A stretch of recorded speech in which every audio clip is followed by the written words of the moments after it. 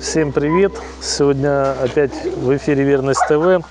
И сегодня у нас пойдет тема о трусости, дикости, э, недоверии. Почему? Э, мне очень часто задают вопрос, почему некоторые собаки боятся людей, а некоторые собаки нет. И я сегодня попытаюсь вам объяснить из своего опыта. Э, я довольно давно, лет с 10 общаюсь с собаками, и как бы у меня есть свои предположения и свои выводы на, по этому поводу. Есть собаки, как бы их называю, разного уровня. То есть есть дикие совершенно, которые не подходят человеку. Есть полудикие, есть э, ручные. Хочется добавить ручные, как собака. Вот э, если взять вот эту вот девочку, да, она Э, относится к отдельной категории собак, с которыми я уже сталкивался. Рейси, Рейси, иди ко мне, Рейси. Она э, ко мне не подходит. То есть она вот выбрала себе, у нее с детства произошло, наверное, такое, произошла социализация именно, это должны быть женщины. То есть вот к женщинам она не вопрос. Все, девочки, женщины, без проблем. Она подходит и все прекрасно. Ко мне она хочет подойти, но боится. То есть, э, причем э, учесть нужно какую ситуацию, что однажды я ее э, зимой на поводке ну, достаточно длинное расстояние провел. То есть у меня было с ней общение, она должна была привыкнуть. Вот э, есть такие собаки, собаки одного хозяина. То есть вот они привыкли к одному человеку, и хоть ты кол на голове им чеши, они другого не воспринимают. Хотя со временем, ну тоже вот практика показывает, э, со временем они все равно привыкают и уже более э, что ли, лояльно или более бесстрашно относятся к другим людям. То есть это я вам сейчас на примере разных собак попробую это объяснить. Ну, показать, во всяком случае. Вот, допустим, вот эта вот Рейси, она так и э, не приучилась ко мне, скажем так. Но к другим людям, к женщинам и детям она отлично относится. Именно к женщинам и детям. Рейси, иди скорее сюда. Все, у нее паника, у нее страх. Остальные вот собаки, допустим, они о, спокойно подходят. То есть вот, пожалуйста, пример тоже еще одна собака, которая подходит только к одному человеку. И, и вот э, еще есть пара такая. Вот эта вот девочка, она раньше боялась у меня тоже э, социализации такой не было.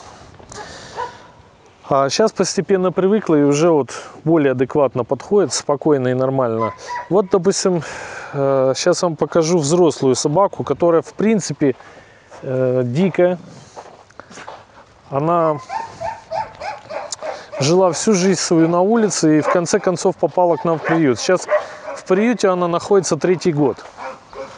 Вот, это роза, которая лежит вот в будке прямо сейчас. Я вам покажу. Розочка, иди сюда. То есть до этого она к людям не подходила. Розочка, иди ко мне, Роза. Роза, ну иди скорее сюда, Роза. Розка, иди сюда. Но она, по крайней мере, дает себя погладить.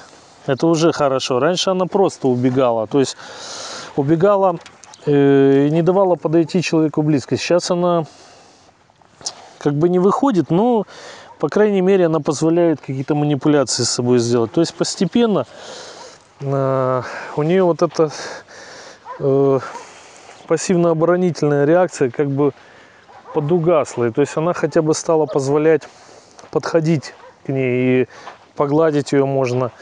И, грубо говоря, корм с руки возьмет. Вот. А некоторые, у некоторых этот процесс на то есть на всю жизнь дикости. И вот хочу сейчас вам показать еще одну мадам. Вот эта девочка, она всегда находится в этой будке. Вылазит она отсюда ночью. У нее беда совсем в каком плане? То есть она боится и людей, и собак.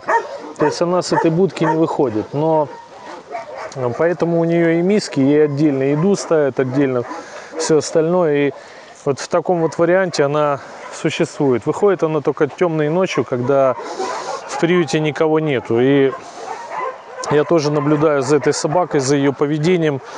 То есть как меняется ее образ жизни, есть ли возможность ее каким-то образом более-менее социализировать к окружающему миру, который вокруг нее, или это уже э, закостенелое состояние. Гибриды это, по сути дела, те же самые волки. И вот их трусость, она передается от волков. Э, основная масса волков, хотите верьте, хотите или нет, они боятся людей.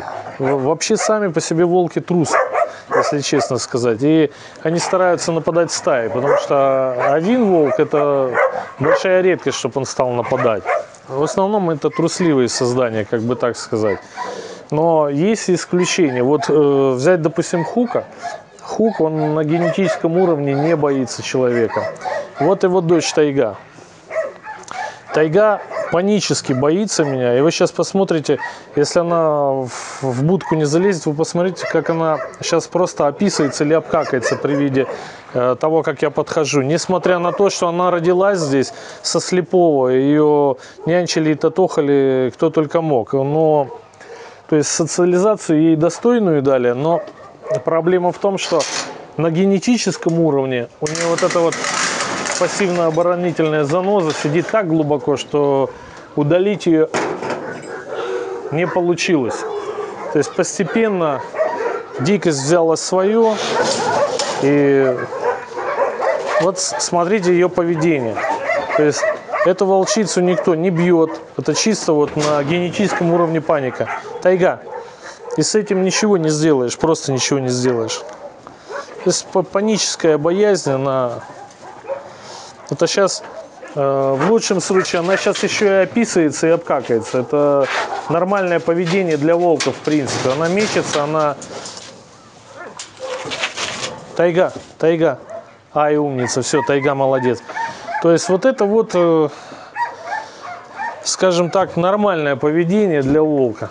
И здесь, э, допустим, люди, которые думают, что их кто-то здесь дубасит палками, это просто, честно сказать, э, люди, которые понятия не представляют о том, что откуда вообще берется страх у собак и у волков и все остальное. То есть бытует такое мнение, что вот собаке досталось, да, очень тяжелая жизнь была или что-то такое. Да ничего подобного. Я могу привести кучу-кучу примеров, когда, я вам сейчас покажу этих собак, э, когда у одной и той же собаки было несколько пометов. И вот эти пометы отличались именно своей генетической предрасположенности к трусливости. То есть было две собаки, две сестры. Родились два щенка, я их одинаково выращивал, что одну, что вторую. То есть они у меня вот так на пузе выросли. Я их э, что одну, что вторую равноценно одинаково, одинаково кормил, татохался с ними, э, игрался и тому подобное. И вот одна выросла уникально ручной, то есть очень ласковая такая, сама к человеку тянется, вечно просит, чтобы ее погладили. А вторая дикая. Максимум, на что она подходила, это вот можно было с расстояния ей кусочек дать. Погладить она себе не давала. Э, потомство от одной и той же собаки. В будущем уже у этих двух собак тоже были потомства. И все то же самое. 50% ручные, 50% дикие, то есть трусливые. Человеку подойти не дают.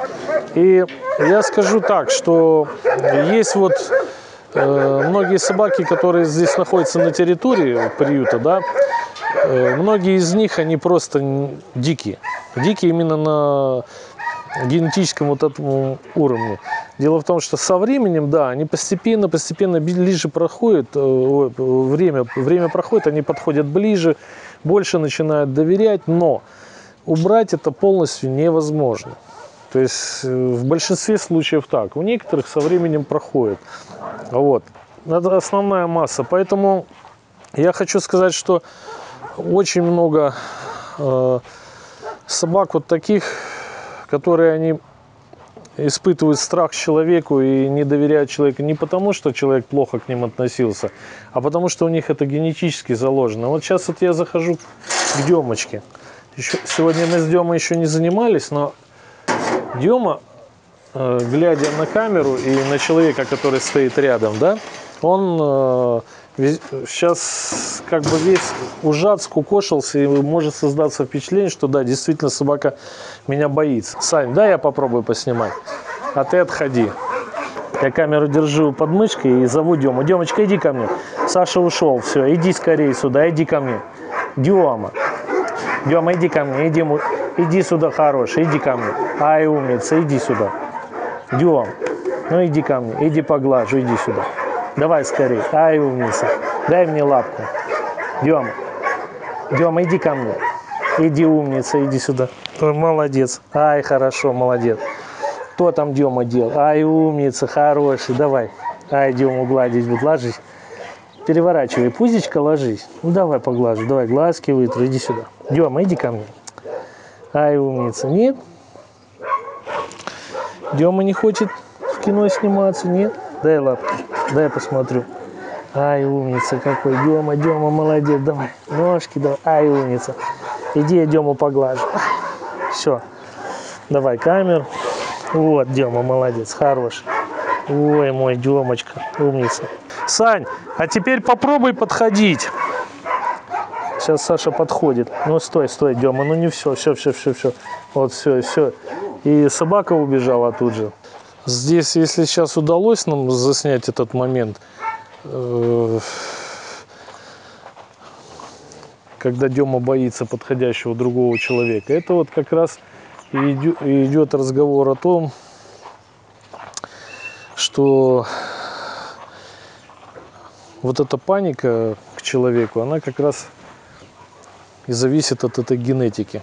Вот, тут две вещи. Социализация – это когда щенок, еще будучи маленьким, получает э, достаточную информацию о постоянно меняющемся вокруг него мире. У Демы этой информации было в волю. И как бы он и людей видел, и собак видел, он, то есть достаточно большой объем информации. Он не сидел в одной, э, скажем так, комнате и ничего больше в этой комнате не видел. Но вот эта вот генетика взяла свое.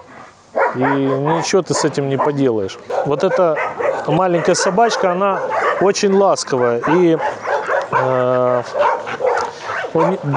когда у нее были свои пометы, то есть э, щенков, 50% этих щенков было диких, а 50% совершенно ручных. Ворчиша, иди ко мне. Ворчиша это ее дочь. Она очень такая гиперактивная девочка. Ворчиша ко мне. Но оставаться рядом с человеком она долго не хочет. Ворчиша ко мне. Ворчиша ко мне. Сидеть. Сидеть. Все, сидеть, ворчиша. Молодец. Ждать. Ворчиша ко мне. Ждать. Когда она близко подходит к человеку, то первая ее мысль в голове, это как бы побыстрее отпустили ворчиша ко мне. Ко мне, ворчиша. Сидеть. То есть э, именно у нее вот какой-то ворчиша ко мне, иди сюда. Все, лежать, ворчиша, лежать, молодец, лежать, лежать, молодец, ворчиша, лежать. И вот так вот всю жизнь. То есть она готова проживать рядом с человеком, но она не хочет э, близкого общения с человеком. То есть она, да, она обрадуется, она утром встанет, хвостиком повиляет. Ворчишка, ворчиша, иди ко мне скорее, иди на ручки ко мне, ко мне на ручки, иди, вот так, на ручки, на ручки, все, все, беги. Вот, вот о, о чем я вам сейчас говорю. То есть э, собаки делятся на разные совершенно типы и характеры, если так можно грубо и образно сказать. Вот вам золотой пример Ворчиша. Она как бы... Она меня любит, все. Она утром обязательно подойдет, вся вот такая, как на шарнирах, сыграет, хвостом завиляет, типа еще и лизнуть может приподняться. Но для нее тесное общение со мной напряжно, в муку, скажем так. Почему? Э, именно вот ей передалась вот эта вот генетика от ее мамы, э, которая воспроизводила 50 ручных, 50 диких совершенно. И сейчас я еще позову ее отца. Волкан, ко мне. Совершенно адекватный парень, то есть он ручной с детства. Волкаш, иди сюда. Э, у него очень, очень такие правильные, я бы сказал, черты характера. Вулкан, заиньку давай. Давай заиньку, вот так. Вот, заиньку, давай правильно сделай заиньку. А покажи, как не стыдно тебе, как тебе не стыдно, покажи. Как не стыдно, покажи. Как тебе не стыдно? Ну покажи, как не стыдно. Ну, а еще покажи. А другой лапкой, молодец, ну все. Вот. И вот эта вот пара дала вот такое потомство. Я думаю, что сильные гены волкана именно уже замесили новый замес. И вот, эти, вот эта вот э, фракция, которая получилась э, при первом варианте, то есть это у нас получается гафичка, да, может быть, ну, то есть со временем, если смешиваются собаки более смелые, более доверчивые к людям, постепенно вот эта дикость размешивается, и она становится меньше. Уже 50 на 50, там потом, допустим, 80 на 20 или 80 на, там 70 на 30, не знаю. Постепенно она размешивается. В принципе, э, теоретически, как я думаю, можно бы было убрать эту шугливость собак, просто не давая плодиться трусливым собакам. Вот и все. Есть... Э, такой момент, что если это на генетике замешано сильно, то как бы ты ни социализировал и какие бы ты условия ни давал, ты ничего не сделаешь. Ничего. Дикость возьмет свое, и вот этот вот оборонительный процесс, он его победить невозможно. И вот когда вы выбираете собаку, либо собаку, либо волка, либо гибрида, в первую очередь нужно смотреть именно на то, как они себя ведут по отношению к человеку. То есть, если э, нужен ручной волк, то он слепу, э, по слепому волчонку вы не поймете, какой он будет. Это лотерея. То есть вы можете вырастить такого вурдалака, что сами потом на пальме месяц сидеть будете и не слезете. А в более зрелом возрасте вы его уже видите его отношение к миру, его отношение к человеку, как э, Веста, иди сюда, не мешай снимать. Вот. Как он э, относится к самому человеку, то есть боится он его или нет, э, вот это вот э, видно сразу. Мы сейчас плавно переместились к вольеру для спинальников, и я эту тему хочу закончить именно здесь. Э, с нами сейчас двое ребятишек, это Соня и Павлик. Вот. Э, дети всегда ну, более таки, такую энергию легкую из себя выдают, собаки их меньше боятся. Мы сейчас проверим на Акибе. Дело в том, что Акиба у нас немножко диковатая девочка, да, она побаивается. Вот сейчас дети зайдут и посмотрим, э, проявит Акиба к ним интерес, и удастся ли им как-нибудь расположить ее к себе. То есть э, не просто так подойти и погладить, а чтобы она к ним навстречу вышла и ее погладили. Почему? Потому что к взрослым вот э, она очень побаивается, то есть нету такой вот радости как бы. Ну давайте пробуйте, сперва без косточек, потом с косточками, заходите. Ее Акиба зовут.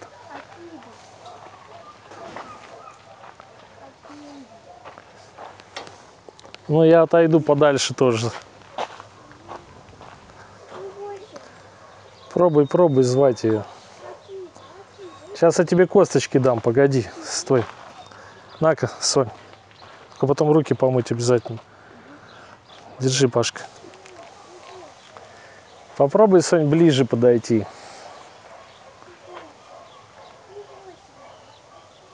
Паша, ну ты попробуй, ты меньше. Давай Павлик попробует пускай.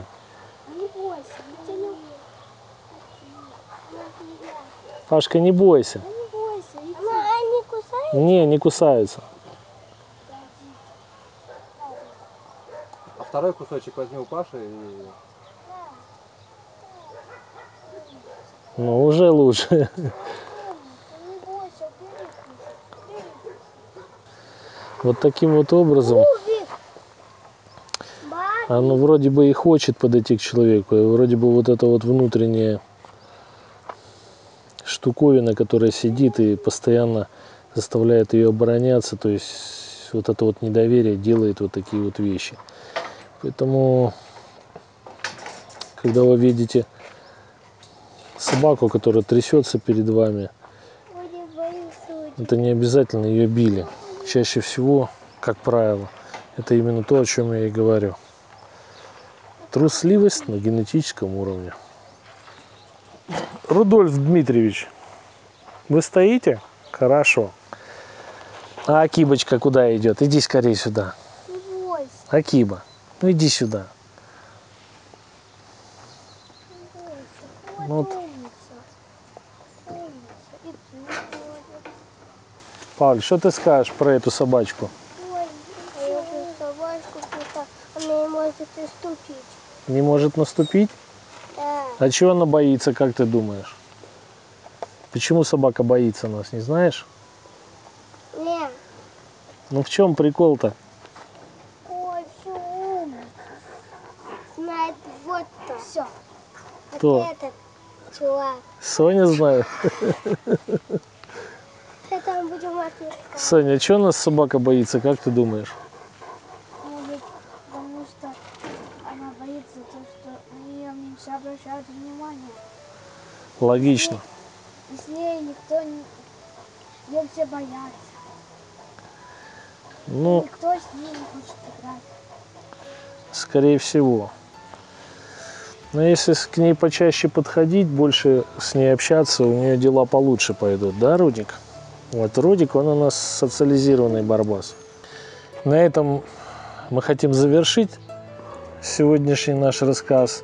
Я думаю, что я более-менее доступно объяснил, в чем бывает причина, почему собака панически боится человека и не доверяет ему. Даже, как его сказать, сами видите, дети подходят и все равно проблема не решается. На этом я хочу завершить сегодняшний рассказ. Всем пока. Всем Не пока. бойтесь собак. Не бойтесь собак, правильно, Соня. И Пока. будь хорошенький. Не боитесь. О,